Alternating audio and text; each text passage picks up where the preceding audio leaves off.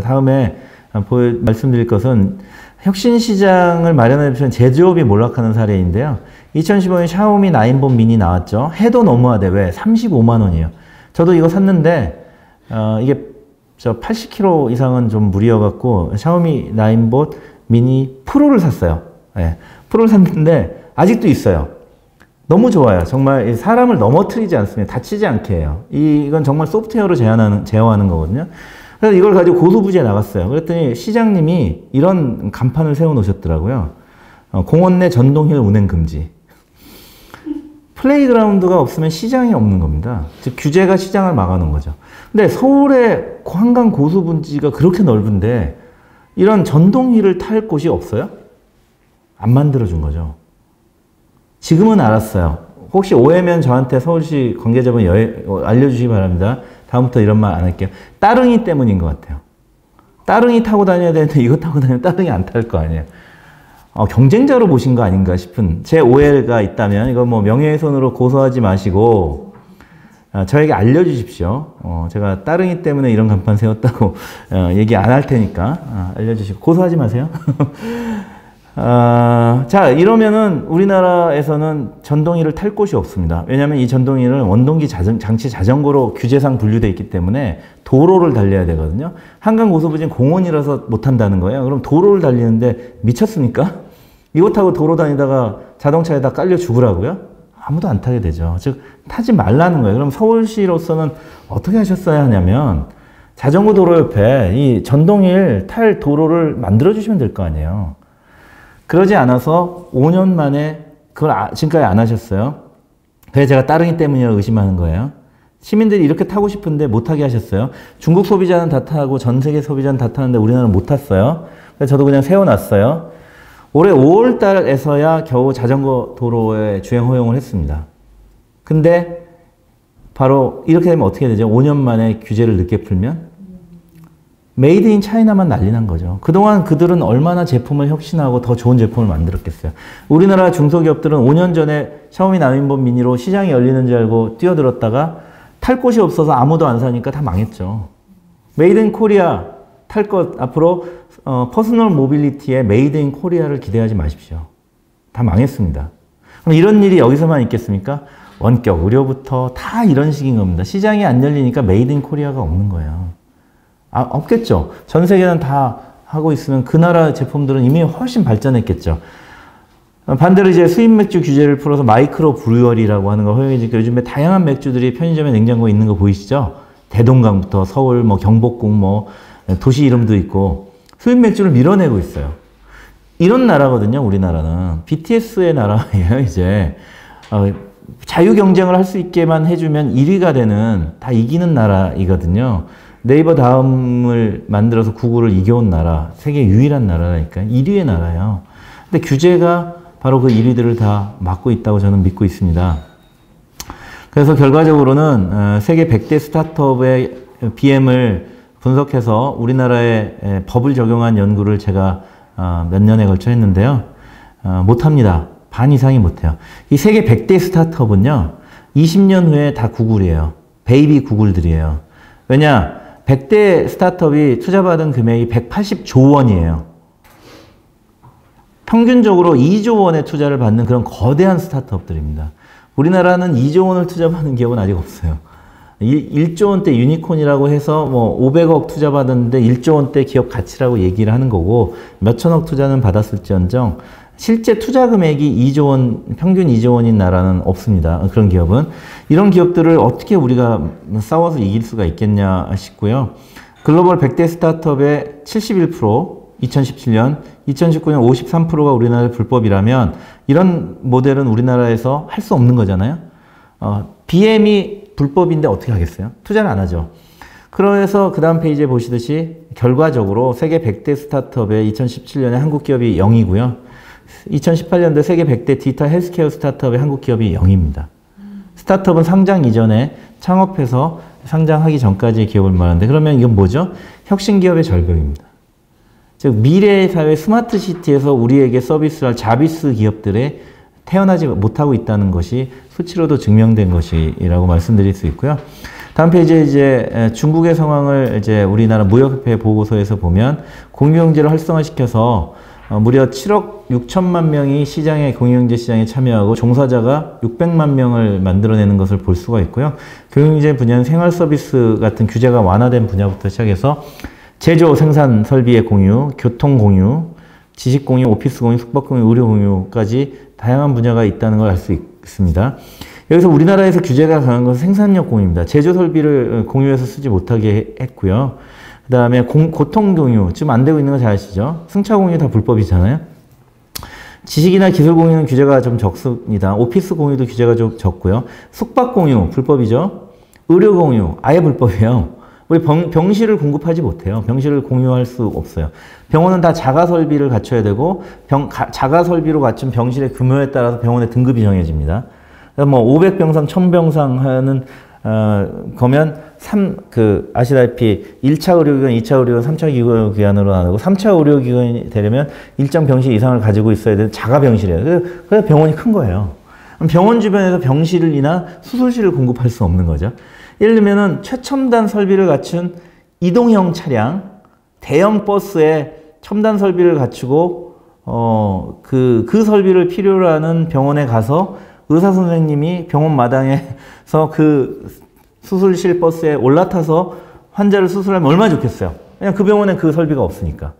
그럼 환자를 살릴 수 있잖아요. 그냥 불, 불가능한 겁니다. 이렇게 이제 의료 공유 같은 게 우리는 거의 불법인 중국은 이미 아시다시피 88억 위안의 시장을 갖추고 비교적 늦게 출발했지만 연평균 성장률이 57% 성장하고 있는 의료 공유까지 하고 있어요. 그러니까 중국은 이 부족한 리소스를 부족한 자원을 공유로서 해결하면서 국가의 성장을 이끌고 있다는 것을 명확히 알 수 있고요. 그 다음에는 중국 정부가 하는 일은 바로 그 다음 페이지에 있는 규범을 만들어서 규칙을 만들어서 규제를 만들어서 어, 할수 있게 해주는 겁니다. 즉 먼저 해봐. 그 다음에 교훈을 얻어서 아, 이 정도의 규제는 필요하구나 하면 국가 규범을 만듭니다. 즉 어, 우리나라 규제 샌드박스 법에도 있는 우선 허용, 사후 규제 바람직한 방식을 중국 정부는 이미 하고 있는 것이고요. 여기서의 규제는 막는 규제가 아니라 할 수 있게 하는 푸는 규제죠. 즉 저는 규제를 두 가지로 나누는데 막는 규제, 닫힌 규제와 여는 규제, 푸는 규제로 나누는데 우리나라는 주로 사전 규제이니까 막는 규제라면 중국은 바로 기존의 법은 다 무력화시켰고요. 어, 여는 규제, 푸는 규제, 할 수 있게 하는 규제를 만들어내고 있다는 것을 이 무역협회 보고서에서 이야기하고 있고요. 우리 정부도 공유경제 추진을 발표했습니다만 생산력 공유를 이번에 최초로 허용했습니다. 생산력 공유. 즉 주방 공유. 그의 대표적인 예로 주방 공유인데요. 어, 지금은 우리나라는 음식점을 하면 자기 주방을 갖고 있어야 되거든요. 이 여러분들 이해하기 쉬운 사례는 고속도로 휴게소에 가면 푸드코트가 있죠. 다 칸막이가 있잖아요. 주방을 각각 갖고 있잖아요. 보시죠. 하나로 모아서 하면 앞에 통일해서 여러 업체가 주방을 공유하면 화구 하나라도 절약할 수 있잖아요. 다 나눠져 있죠. 푸드코트가 바로 우리나라 음식점이 각각 주방을 갖고 허가를 내야 되는 것이기 때문에 푸드코트라고 해서 예외가 아니기 때문에 그렇고요. 백화점에 가도 다 따로따로 있는 거예요. 그러면은 뭐든지 복수로 가지고 있게 될 거잖아요. 공유 경제가 아닌 거죠. 여기서 이제 주방을 공유할 수 있게 하는 것을 우리가 규제 샌드박스 이번에 드디어 허용을 했고요. 이제 앞으로 이 규제가 해소되면 푸드코트의 모양이 바뀝니다. 즉, 저 뒤에는 하나의 주방이 있고 여러 어, 음식점들이 프론트에서 주문을 받아서 그 공유 주방에 가서 음식을 만드는데 어, 남는 걸 빌려 쓰는 거죠. 그리고 쓴 만큼 나중에 비용은 정산할 거고 그렇게 해서 음식을 어, 만들어낼 수 있는데 주방을 공유하니까 인건비 부터 시작해서 인력도 공유할 수 있죠. 그 다음에 설비 비용이 적게 들잖아요. 그러면 음식이 생존할 수가 있게 되는 거죠. 즉 이런 코로나 시대 생존 가능성이 높아지는 현상이 발생할 것이고요. 앞으로는 이제 어떤 큰 상가마다 다 어, 주방을 공유하는 모델로 다 바뀌게 되면 음식점들이 퇴직금을 털어서 적은 돈으로 음식점을 할 수 있게 되는 거죠. 뭐 이런 일들이 이제 많아지는 것의 출발점에 있는데요. 아직 우리 정부의 공유 경제 정책을 제가 평가하면 공급자 중심의 공유 경제 정책에 머물러 있다. 소비자를 위한 소비 시장을 여는 소비 어, 공유, 소비재 공유 기업은 아직 어, 규제 때문에 많이 막혀 있다고 말씀드릴 수 있겠고요. 대표적으로 교통, 숙박, 의료 같은 것이 그렇습니다. 다시 한번 이제 플랫폼 기업을 장악을 말씀드렸고요. 어, 여기 네, 쭉 시간상 좀 지나가서 어, 열린 규제 시스템 미국과 중국이 이렇게 성공하고 있는 사례를 에, 교훈을 찾으시자 하는 말씀을 드리고 있고요. 미국의 고위 관료인 CFTC 의장이 에, 방송에 나와서 어, 인터넷 산업이 발전할 수 있었던 이유는 정부의 과도한 개입이 없었고 산업에 무해한 조치를 취했다는 것입니다. 그 대표적인 예로 많지만 1996년 CDA 230조를 예로 들 수 있는데요. 이게 통신품위법인데요. 요지는 그렇습니다. 플랫폼 기업은 어, 그 공급자나 소비자의 행위로 인해서 처벌받지 아니한다입니다. 즉 어, 플랫폼 기업인 구글이 어떤 검색을 했는데 그 검색 결과에 불법 콘텐츠가 나온다 해서 구글이 어, 그 게시자로 취급받지 않는다라는 것이고요. 유튜브에 불법 동영상이 올라온다고 해서 유튜브가 그 저작권 침해죄로 처벌받지 않는다. 뭐 이런 얘기인 거거든요. 이, 이 법이 1996년에 연방의회를 통과했어요. 그러니까 미국은 정부 전체가 인터넷 산업을 키우기 위해서 어떠한 규제를 법적 책임을 면해줘야 되는지를 먼저 디자인을 하고 그것을 연방의회 의원들의 공감을 얻어서 통과를 시킨 겁니다. 그래서 이런 법이 나올 수가 있는 거예요. 우리는 반대로 플랫폼 기업은 어, 그 이용자의 컨텐츠를 감시하라는 규제를 만들고 있죠. 그게. 엠번방 방지법입니다. 예, 이유는 예, 디지털 전쟁을 통해서 GDPR, 공정거래, 저작권, 세법 등으로 미국 기업을 공격하고 있죠. 즉 경제 전쟁을 벌이고 있는데 기업들이 예, 전쟁을 벌이는 게 아니라 정부가 나서서 법률 전쟁을 벌이는 것으로 요약할 수 있고요. 왜 그러냐? 대항마 기업들이 다 망했기 때문입니다. 어, 미국의 가파 또는 옛날 TGIF를 대항할 만한 유럽의 기업은 없습니다. 다 망했고요. 그 이유는 EU도 전통적인 대륙 국가이기 때문에 대륙법 국가로서 어, 사전 규제가 강한 대륙법 국가이고 규제 장벽의 철폐가 이씨 집행위원장의 어, 과거 집행위원장의 공약이었을 정도로 우리와 같이 규제에 시달리던 규제가 혁신 산업을 가로막는 어, 나라였는데요. 어, 우리보다 먼저 다 망했어요. 그래서 뭐 신문에 가끔 보시는 구글세 이런 것을 막 도입하는 이유가 지고 있기 때문입니다. 이기고 있다면 법으로 싸우지 않습니다. 기업들이 다 이기는데 왜 싸워요? 싸울 이유가 없죠. 구글이 EU에서 맥을 못 쳐. 그럼 구글세를 도입할 이유가 없는 거죠. 즉 법률 전쟁은 경제 전쟁의 어, 막장이라고 할 수가 있습니다. 우리가 최근에 바로 법률 전쟁을 벌이려는 시도를 국회가 하고 있는 것도 이미 많이 기울고 있다는 것의 반증이고요. 최근에 구글이 앱스토어에서 구글의 플레이스토어이죠. 구글의 플레이스토어에서 30% 수수료를 모든 앱에 강행하겠다고 하는 발표를 하자 지금 사회적으로 큰 반향이 있고 국회에서 어, 또 행, 정부가 어, 법률로서 이걸 막겠다고 하고 있는데 바로 이런 게 법률 전쟁이거든요. 구글이 우리나라에서 별 볼 일 없으면 이런 법을 만들 필요가 없고 이렇게 어, 그걸 비, 난할 필요가 없게 됩니다. 글로벌 경제 전쟁의 와중에도 우리는 그나마 어, 구글을 막아낸 또는 미국 기업들, 세계적인 플랫폼 기업들을 막아내고 있는 우리나라 플랫폼들에게 어, 규제를 강화하는 법안을 최근 10년간 계속 만들어 왔고요. 아, 우리나라 벤처기업인들은 아, 플랫, 아, 골든타임을 놓친 것이 아니냐는 얘기를 하고 있습니다. 다시 한번 이제 그 지금 반복적으로 제가 메시지를 드리는 부분이 이 나눠드린 자료에는 있는데요. 어, 흐름상 자꾸 강조를 해드리기 위한 부분이라서 제 강연에서 넘어가기로 하겠습니다. 결국 이제 결론 부분은 어, 디지털 경제 시대 인공지능 플랫폼 기업 은 정말 필수적입니다. 이들 기업이 없으면 여러분들의 눈과 손과 발까지 발은 이제 이동이고요. 귀를 장악할 그런 인공지능 비서를 바로 이런 미국과 중국의 거대 플랫폼, 초거대 플랫폼이 장악하게 될 것이고 잘못하면 우리나라의 경제 주권도 잃고 국제 정치 주권도 잃게 되는 결과를 낳지 않을까 저는 우려하고 있습니다. 어, 이런 어, 플랫폼은 민간 기업이기 때문에 나라가 어, 쉽게 이를 어, 가로막거나 또는 우리나라의 대항마를 키우기 어렵기 때문에 어, 제가 드리고 싶은 말씀은 이러한 플랫폼의 공습 시대, 거대 플랫폼의 공습 시대에 있어서 어, 관군이 동학군을 진압하는 것과 같은 우를 130년 후인 지금 다시 범하지 말자.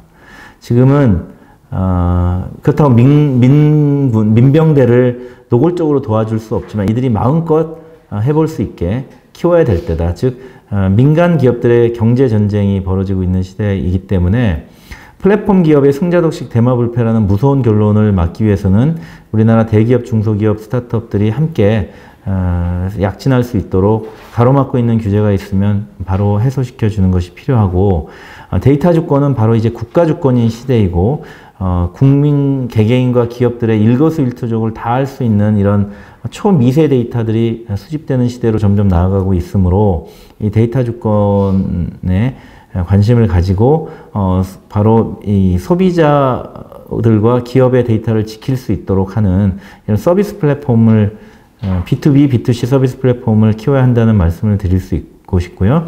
플랫폼이 제조 물류 유통을 수직 계열화하는 현상을 이미 설명드렸는데 어, 이 플랫폼을 놓치게 되면 우리나라 제조업도 해외 플랫폼에 종속이 되거나 해외 플랫폼이 우리나라 제조업 키워주겠습니까? 안 키워주죠. 버리는 거죠. 어느 나라의 다른 나라의 제조업을 키워줄 거예요. 어디? 싼데. 어, 가 성비 높은 나라의 제조업을 키워줄 것이고 그 나라가 가성비가 떨어지면 또 다른 나라를 키우는 식으로 하겠죠. 바로 뭐 애플이 뭐 아이폰 제조는 폭스콘에 맡긴다든지 뭐 이런 등등의 일들이 계속 발생할 것이고요. 우리나라의 기회는 없어질 것이고 우리나라가 제조업과 물류, 물류 유통의 이익마저도 모두 이들 플랫폼이 가져간다면 과연 우리나라 국가 경제가 지탱할 수 있겠느냐 이런 걱정이 많이 됩니다. 데이터 경제로 신속한 전환의 다른 말이 아니고요. 어, 뒤에 있는 자료에서 강론은 어, 여러 가지 플랫폼 사업을 어, 우대해야 된다는 그런 어, 얘기를 하고 있는데요. 어, 제가 제안하고 있는 이제 방법론들입니다. 민간 시장의 정부와 공공 부분이 선수로 들어오는 것을 모두 걷어내 주시기 바랍니다. 예를 들면 지금 화면에 있는 홈페이지가 캠핑 어, ORKR을 운영하고 있는 한국관광공사인데요. 어, 보면은 정부의 개입이 지원이라는 이름으로 너무 세요. 예를 관광 홍보를 지원한다니 관광 마케팅을 지원한다니 관광 투자를 지원한다니 하는 것을 관광공사가 하고 있는데 전부 세금으로 하는 것이거든요. 규제를 풀어서 혁신적인 기업이 나오면 민간의 자본이 모두 이런 일을 할 것입니다. 왜 규제는 풀지 않고 정부가 나서서 이런 일을 하는지요? 그것도 세금으로. 그러면 아까 100개 스타트업이 100대 스타트업이 180조 원의 투자를 받는 받고 있는 글로벌 투자 시장에서 그그 180조 원은 뭐 정부의 돈이겠습니까? 모두 VC 벤처 캐피탈 민간의 돈이거든요. 이런 악순환을 당장 거두자라는 것이고요. 관광공사가 운영하고 있는 서비스 중에 고우 캠핑이라는 게 있는데 정말 거기 들어가면 기가 차서 말도 안 나옵니다. 캠핑 캠핑 정보 사이트를 관광공사가 세금으로 운영을 하는데 그 구글 검색 결과 옆에는 민간 캠핑 정보 사이트들이 있어요. 민간이 하지 못할 때 해야 되는 거 아닌가요? 캠핑 정보와 캠핑장 예약을 하는 것을 민간 기업이 BM으로서 만들어서 어, 그걸 사업을 하고 있는데 세금으로 어, 무료로 그걸 제공하면 죽으라는 얘기죠. 그럼 일, 민간의 일자리를 파괴하고 있는 거예요. 이런 건 부지기수인데요. 예를 들면 제가 어, 있는 산업인 법률 산업의 예를 봐도 대법원이나 법제처가 법률 판례 서비스를 무료로 제공해요. 근데 민간의 법률 판례 서비스가 있거든요.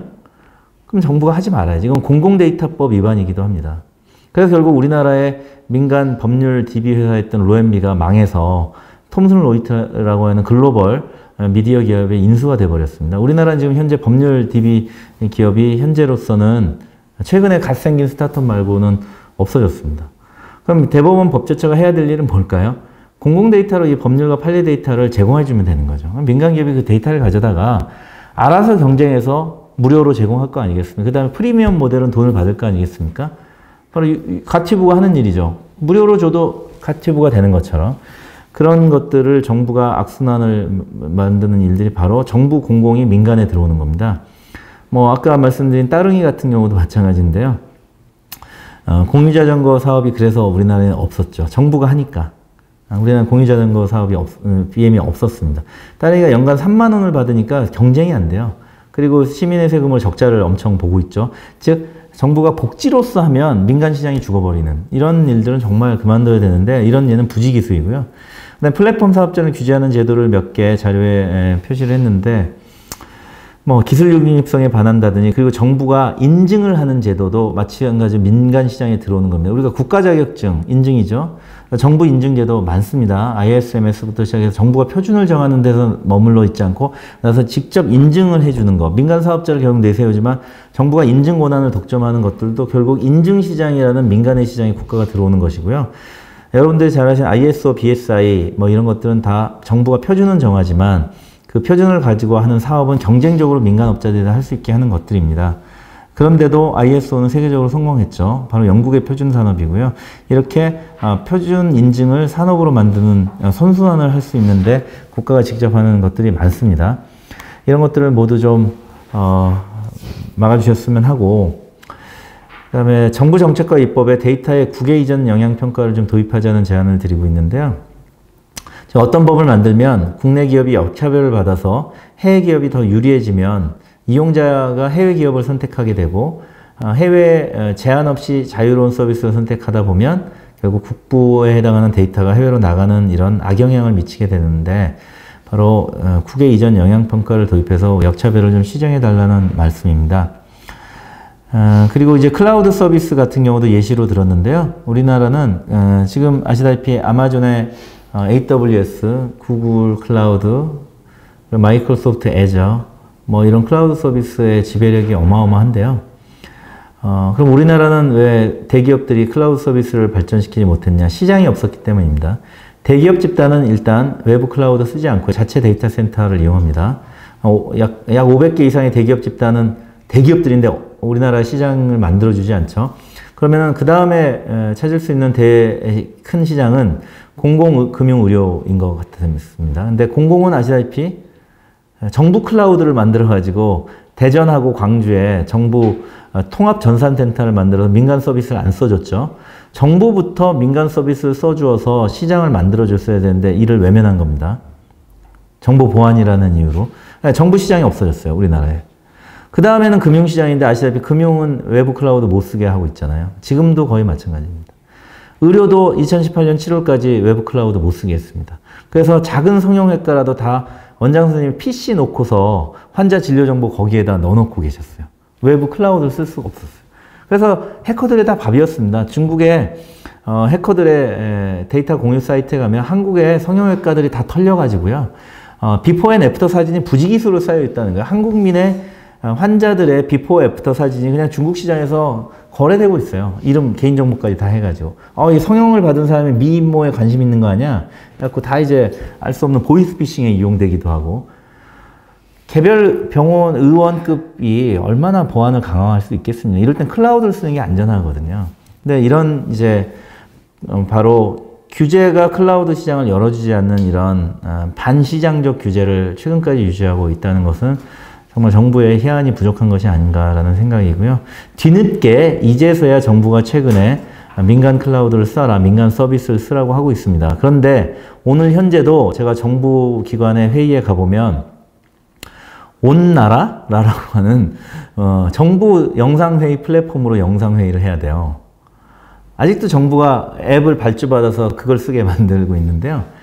어, 해, 외부의 영상회의 앱이 훨씬 보안에 에, 강할 것 같거든요. 어, 뭐 그러면 외부 기, 기업 걸 써주면 되는 거죠. 영상 앱이 해킹당해서 정보가 유출되는 일이 발생하면 그 기업이 더욱더 보완할 거 아니겠어요? 이렇게 민간의 서비스가 발전할 기회를 정부가 나서 해주지 않는 이런 모습들은 아, 빠른 시일 내에 시장이 돼야 될 것 같습니다. 이런 정부가 어, 바로 시장의 경쟁자로 어, 등장하는 것, 정부가 발주하면 경쟁자를 만드는 것이기 때문에 세금으로 경쟁자를 만들어서 민간 시장의 발전을 막는 일들의 여러 가지 유형이라고 할 수 있는데 이런 것들을 모두 어, 바로 개선해 주는 것만으로도 정부가 돈을 제대로 쓰는 것만으로도 시장을 만들고 일자리를 만들 수 있다고 저는 생각합니다. 그 다음에 혁신 시장을 어, 새롭게 등장하는 시장을 만들어내는 것도 당연히 추진해야 되고요. 네, 말씀드리다 보니까 시간이 꽤 흘렀는데요. 아, 운영 측에서 알아서 편집을 해주실 것이라고 생각을 하고 아, 제 말씀은 여기서 어, 마치도록 하겠습니다.